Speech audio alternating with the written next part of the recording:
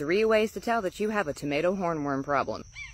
Number one, complete defoliation of the tomato plant in certain areas with no other visible signs of symptoms of disease. Number two, lots of caterpillar poop underneath said tomato plant. Number three, visible damage on the actual tomatoes themselves.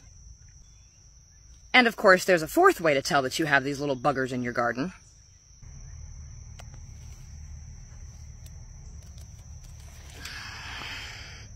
Jerk.